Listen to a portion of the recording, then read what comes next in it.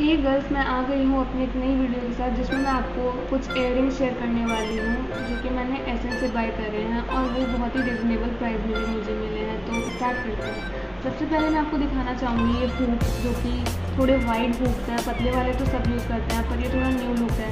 और ये मुझे जस्ट मिले हैं फिफ्टी रुपीज़ में। येस गर्ल्स आप देख सकते हैं। और ये काफ़ी प्रेटी भी है।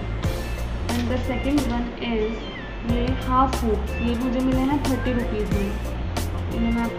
हूँ तो गर्ल्स थर्ड वन ईयरिंग से ये बैंगल्स जो कि काफ़ी प्रिटी हैं। आप देख सकते हैं वेस्टर्न के साथ भी पहना जा सकता है और ट्रेडिशनल के साथ भी। ये देखिए।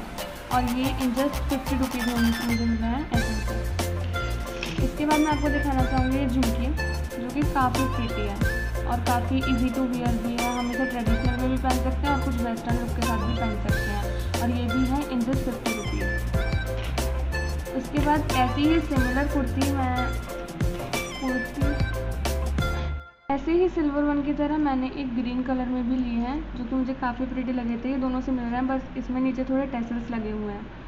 आप देख सकते हैं। और ये भी हैं इन जस्ट फिफ्टी रुपीज़ तो इससे आगे मैं आपको दिखाऊँगी, जिनका नाम तो मुझे नहीं पता, पर वो इतने प्रिटी दिखते हैं। मतलब इन्हें हम बैंगल फॉर्म में ही कहेंगे। और ये भी मुझे मिले हैं इन जस्ट फिफ्टी रुपीज़